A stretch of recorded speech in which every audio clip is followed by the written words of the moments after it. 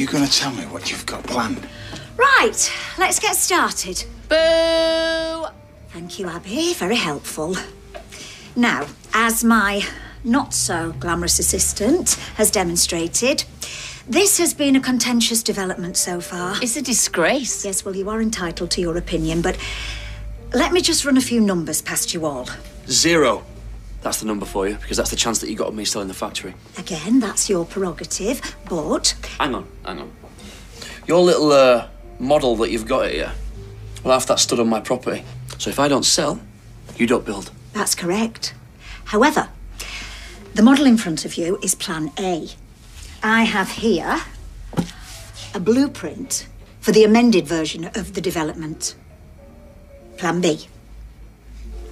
Amended in, in, in what way? Okay, so the factory, for example, wouldn't be affected. In fact, the development would only come as far as number eight Coronation Street. So the cabin and the garage would also remain. But my house still goes, though. Maybe we should take a shot, break. Hate to be blunt, but um, it's not your house anymore. We don't care. We don't want a high rise on our street. Excuse me. Well, I hope you change your mind. I should point out, though, that with this new proposal, we already own all the property we need to proceed. So once we get the green light, we can begin demolition. Can I have a word?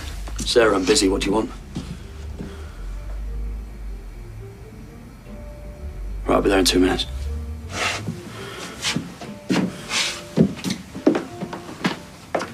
Well, that's me stuffed, isn't it? Yeah, I'm Kevin. Kevin, how'd you work that out? He's still got his house. Well, maybe, but he still had to sell the garage and the furniture shop. Yeah, right. He'd have come to some deal with his sister behind everyone's back. You don't know what you're talking about, you scrawny little toe rag. Please, we're reduced to arguing amongst ourselves and the battle's over before it's begun. Anyway, you were happy enough to take the money for your house. Well, yes, because of the underground grotto feature that it's got. Thanks to all his doing. Where do you think you're going? To try and smooth things over. Oh, no, you don't. You've got some explaining to do. I don't do plant Bs.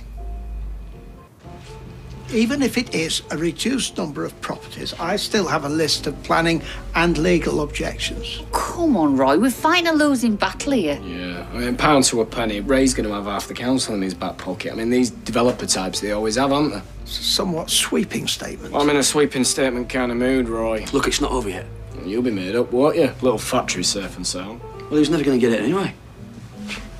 Burn the place down myself before he gets his hands on it. That effectively will be playing right into his hands, surely. He he wants to bulldoze the property himself. No, it's, it's just a figure of speech, Roy. I'm on your side, is what I'm saying. Go windows.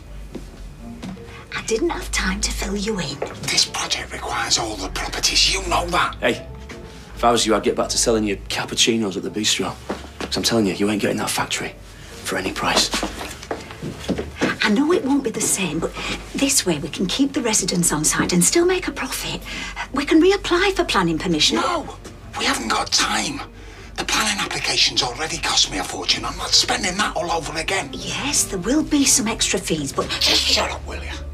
And from now on, I make all the decisions. Right,